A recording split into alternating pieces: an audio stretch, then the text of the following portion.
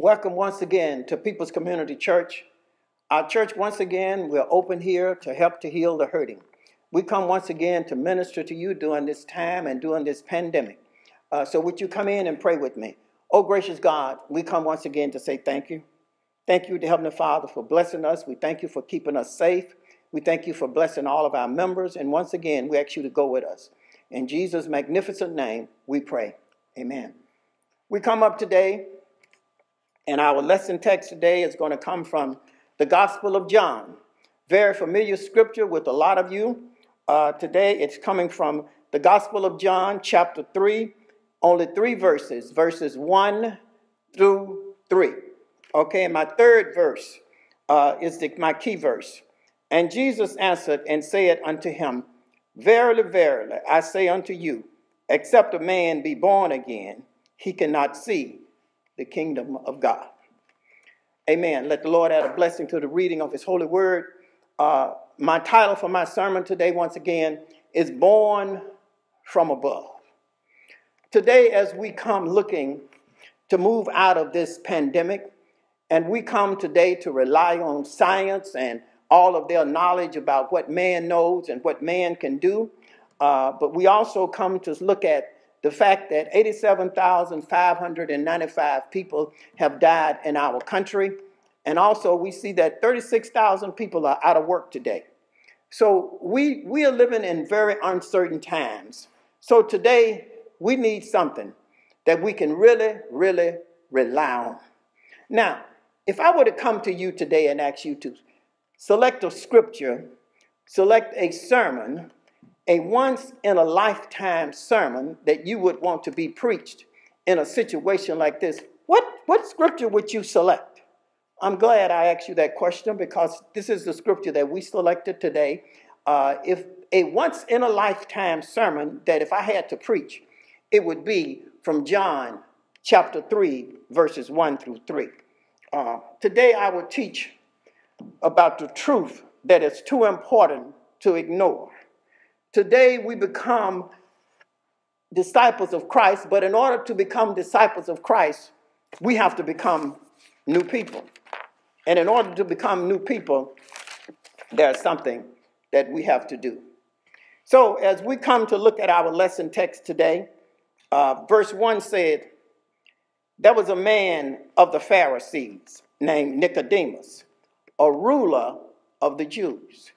Now, pay attention because in this lesson text, we're going to talk about something that's very important today because we see so many people that have elevated themselves in high position, so many people that hold high positions, but they don't really have a real relationship with God.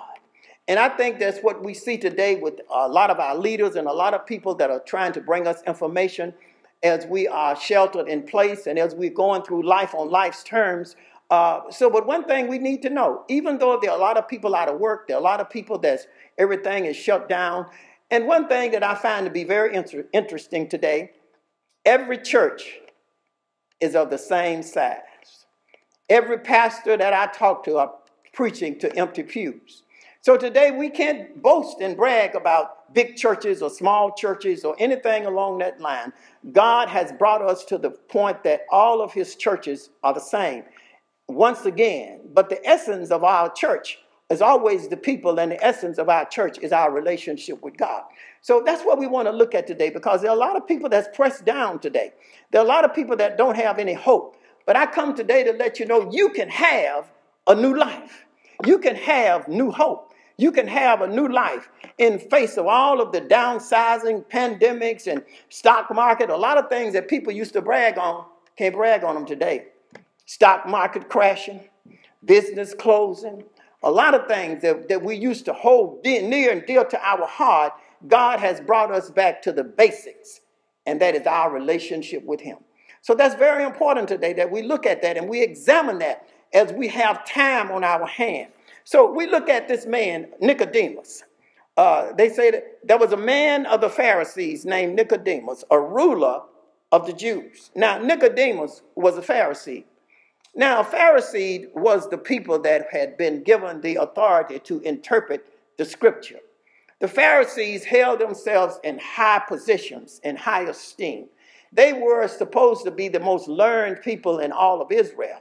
But not only was Nicodemus a Pharisee, because the Pharisee ministered to the common people and the Sadducee ministered to the aristocrats, but we see here that the Pharisees was the largest group, the largest group of all of them. And Nicodemus was the leader of the Pharisees. He was the master teacher of the Pharisees. But not only was he a Pharisee, they say, they say also he was a ruler.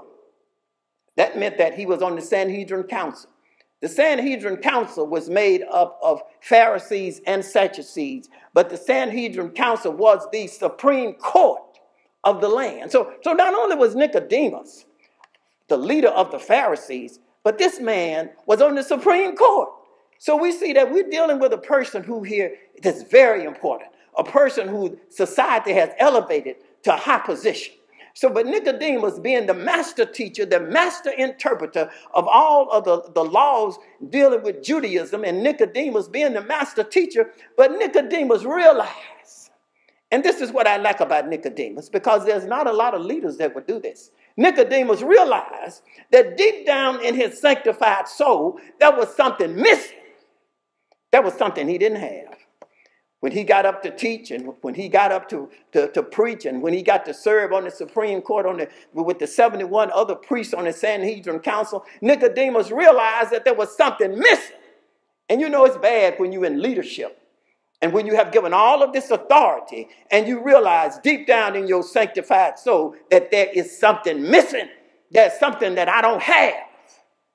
And all of a sudden, in verse 2, it says, he came to Jesus by night and said unto him, Rabbi, we know that thou art a teacher come from God. For no one can do these miracles that thou doest except God be with him. Now he comes to Jesus by night. And this is very important because uh, a lot of people try to make a lot about him coming to Jesus by night. But it's very simple. He was ashamed to talk with Jesus during the day because he was supposed to have all this knowledge. Uh, but you see, it, when a person has to descend from the teacher to become the pupil, then sometimes that causes us to be ashamed of things. See, see Nicodemus saw something in Jesus. He saw something in Jesus that he knew that he didn't have. But, but, but being a man of God, being a man to realize that the things that he saw in Jesus, the miracles and things that he saw in Jesus, nobody could do these things except he be sent by God in the teachings that he heard Jesus teach. And, and you see, there is a thing about in antiquity, and that's why he comes to call Jesus rabbi, which means master. He comes and calls you. Now, he's supposed to be the master teacher, but he comes and calls Jesus master because he realized Jesus' interpretation and Jesus' teaching of scripture was one of authority, that one that, that nobody else could deal with but Jesus. So Nicodemus come, but he realized something that was true about Jesus. Understanding all of the stuff in Judaism, understanding that Jesus was really from God. Because it says right here. He said, No one can do these things except he's sent by except he's sent by God. Because in antiquity, in order to be a teacher, in order to stand up and do the things, in order to be respected, then you had to speak the words that God would put in your mouth. These weren't no teachers that could just hop up and, and, and not be trained and not do anything. These were people that had to be trained. And Nicodemus realized that although he was the master teacher, but he saw Jesus doing some things and teaching some things that he know that he didn't have. And he know that he couldn't do. So, so he comes to Jesus at night and he says, Master, Master. He say, Master, we know that thou art a teacher that comes from God. I know you come from God. He said, There's no doubt in my mind. I don't care what. And he said, We, because he had been talking to all his other Pharisees and Sadducees and people about Jesus. And he said, We know that thou art a teacher come from God. He said, We know. Because the miracles. See, see, see, see, miracles is God's intervention in the natural order of things for the sake of a believer. See, see, Jesus' miracles was his calling card that God had given him to come to earth. So if you wanted to, if, if I was working for a company and I came to you and I gave you my calling card, then it would give you my name and the name of my company. But see, Jesus' calling card was his miracles that God had given him. And you see, when, when, when, when miracles come into our lives, and sometimes we may get sick, sometimes we may have cancer, but all that kind of stuff. But the natural progression of those things, God has the power to stop them just like the natural progression of this COVID 19, God has the power to stop it. God has the power to reverse it. But we have to be, we have to believe that. So Nicodemus comes, and he comes at night. And he comes because he realized now that he has to come down from his role as a teacher. And he comes have to come down now to be in the, in the position of a student. And you know, that's a big drop for a lot of teachers. Every time I stand up and teach a class, I also come to learn from the people that I teach. But there are a lot of teachers that don't do that. A lot of people, oh, I know everything. I know everything. So you, can, I come to teach you, but but you, it has to be both ways. So so Nicodemus comes now as a pupil. And he comes to the master teacher, the show enough master teacher, and he said, I know you come from God. We know you come from God because we have seen the things that you do. We have seen the miracles we have seen the things that you have done. The, we, we, we, have seen you feeding the 5,000. We saw you stop the widow at Nain and, and raise her son from the dead. We, we, we saw all of these things that, that you were able to do. And I know in order for you to do these things, you had to come from God. And he said, and he said, except God be with you. He said, God got to be with you. And that's why I come to you at night. Now, now, Jesus doesn't prolong or doesn't get into no long uh, dialogue with Nicodemus because he realized Nicodemus' problem. Just like we realize so many people's problems today that are so depressed because so many people have lost their jobs, so many people, uh, their bank accounts and stock markets has crashed, and all of the things that's going on in life. And we see domestic violence increasing because people are sheltered within. More children are being abused than was ever abused before. And we see all of these things happening today because we now have to be still and look at ourselves and see who we are. But I just stopped by to let you know today that you can have a new life. You can have a new beginning. So Jesus looks at Nicodemus, and Jesus didn't even get into answering these questions about Nicodemus. Jesus goes straight to the problem. Jesus answered and said unto him, Verily, verily, I say unto thee, except a man be born again, he cannot see the kingdom of God. Now Jesus answered and said, Verily, verily. In other words, Truly, truly. In other words, he said this twice because he said, Nicodemus, regardless of everything that I say, I need your undivided attention right now. I need to get your attention. I need everything that I've said so far. But I, I want you to realize I'm about to say the most important thing to you right now. I'm about to answer your question that you didn't even ask, but I'm about to feed your soul because I know what a person needs in their heart. And so Jesus now goes and says, Verily, verily, give me your undivided attention. I say unto thee, except a man be born again, he cannot see the kingdom of heaven. So Jesus is letting Nicodemus know, except you be born again, except you come from the first Adam. But now you have to be born from the second Adam. I understand that you have a sin nature. I understand that you come now thinking a certain way.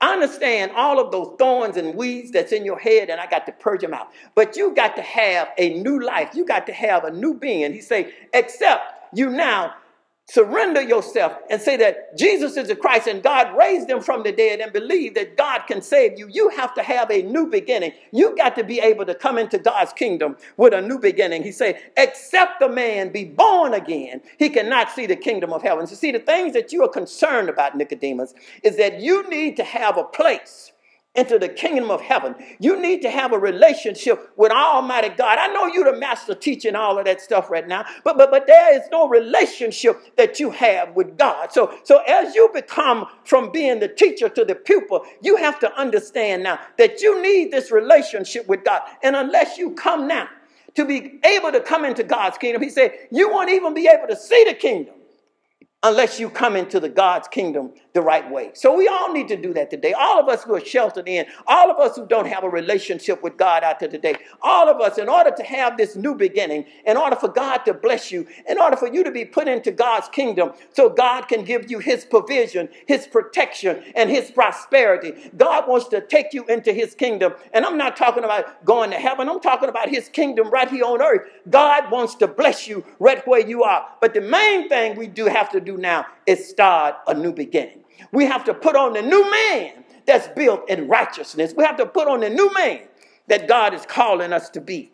So that's what he told Nicodemus. Nicodemus, you got to have a new start.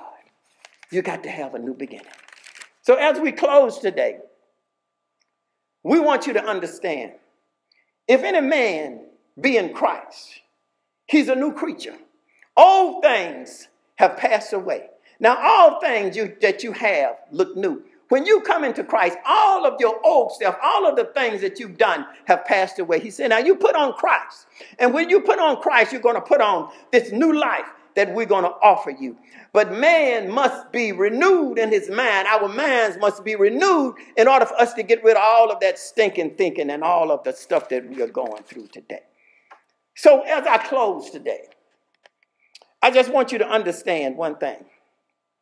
There was a family, a Caucasian family, that had adopted a little African American boy when he was a child, when he was an infant.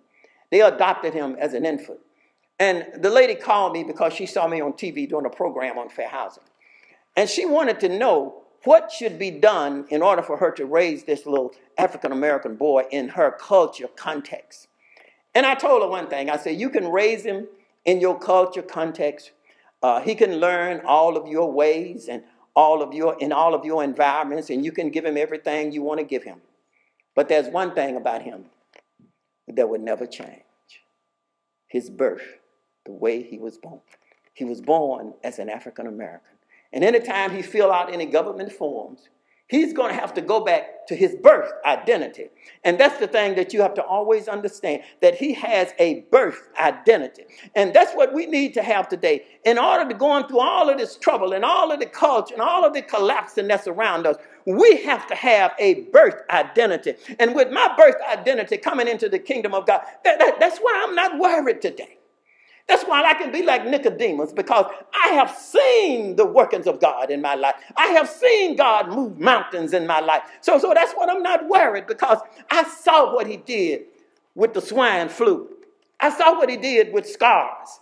I saw what he did with the West Nile virus. I saw what he did with AIDS. I saw what he did with Ebola. And I just stopped by to let you know that God is still on the throne and God is still in control. And God is not worried about this pandemic. This pandemic didn't catch him off guard. But God is still on char- in charge. And I saw something. And that's why I can still trust him.